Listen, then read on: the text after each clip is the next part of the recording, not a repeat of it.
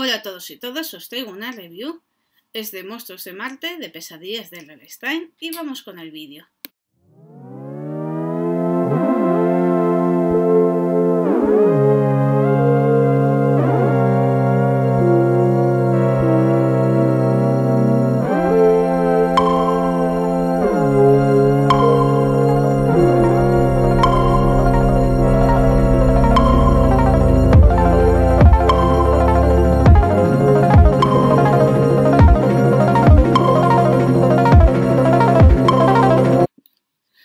Bueno, esta historia es de Ediciones B, como siempre muy pocas páginas, 142, y nos descubre nuestro personaje principal, que es un niño que celebrando el cumpleaños de su hermana encuentra un huevo con unas venas azules y rojas y demás, y del cual nace un ser muy parecido a este, que podéis ver en la fotografía.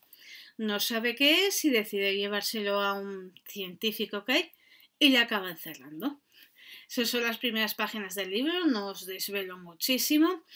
Es un libro que está muy entretenido, pero que quizás en vez de seguir el tono de terror, tipo noche en Halloween, luna llena y demás, eh, es un libro que va más por el estilo científico, ciencia ficción, y quizás por eso, perdón, no me ha gustado tanto como los demás.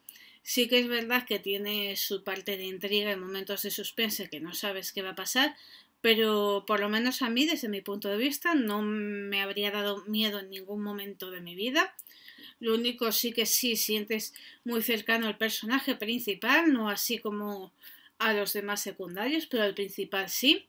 Además está muy bien ambientado, ya que no se produce en muchos lugares distintos, sino en casa del chico, en casa de una amiga y en un laboratorio científico. Y el camino que hay entre medios no lleva mucho más, con lo cual es bastante fácil imaginarse todos los lugares que hay.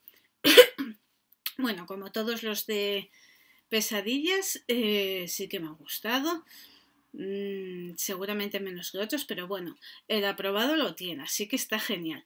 Es un libro que, ya os digo, si os gusta la ciencia ficción, os lo recomiendo. Si tiráis más por el terror, no es un libro que os vaya a gustar. Y bueno, hasta aquí la review. Como siempre, espero que os haya gustado, que le deis a me gusta, suscribáis a mi canal y lo compartáis en todas vuestras redes sociales. Y muchísimas gracias por estar ahí.